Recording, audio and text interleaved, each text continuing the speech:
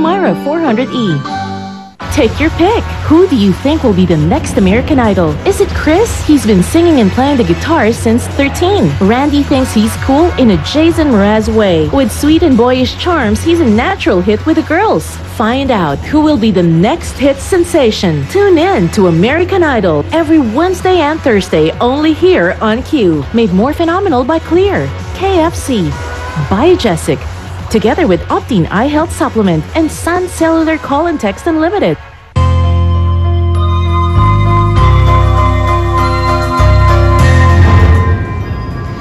It used to be that science is science and faith healing is faith healing, and never the twain shall meet.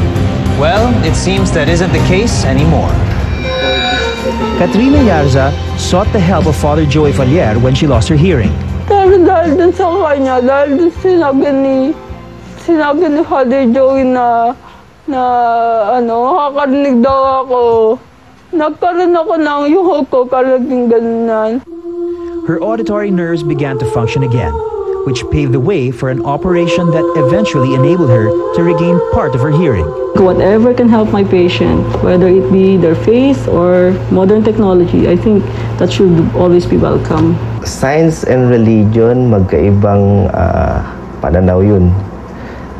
Pero kung pagsasamahin mo, maybe you can both up with something something good. Through her ordeal, Kat never lost her optimism. In fact, it inspired her to be a miracle for others. Hindi ako nakakarinig, pero nakakasalita naman ako. Yung simpleng gagay lang, ganun lang.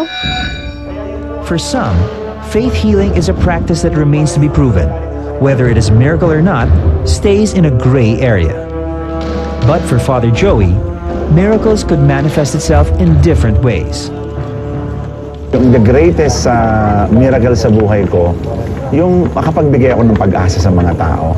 I can be an instrument of healing and I can be an instrument of ah, people changing their lives for the better. So maraming mga pwedeng gawin na ah, scientific testing dun sa pa, sa paraan ng pag-heal ni Father Joey. At kung totoong um, malawak yung maapektuhan ng pagpapagaling niya, then magandang talagang mapag-aralan siya kasi mas nakakatulong siya sa mas marami.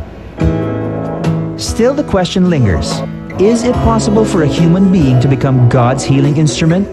pwedeng ang mga doktor sasabihin nila, ay, ano yan, walang katotohanan yan kasi based sa examination namin, ganito.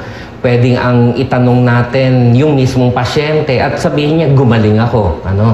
So ako para sa akin, ang pinaka-importante yung tao mismong napagaling. Saan man nanggaling yung source ng kanyang pagaling, ah, immaterial. Ang importante, nakatulong tayo doon sa kapwa.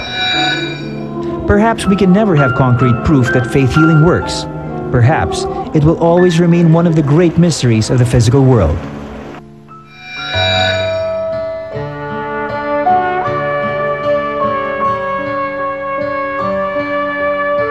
What matters is that it gives hope to all who need it most.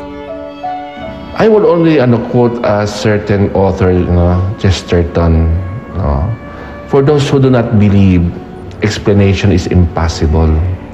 For those who believe, explanation is not necessary. There are many sides to a story, and people have their own versions of reality. When something remarkable happens,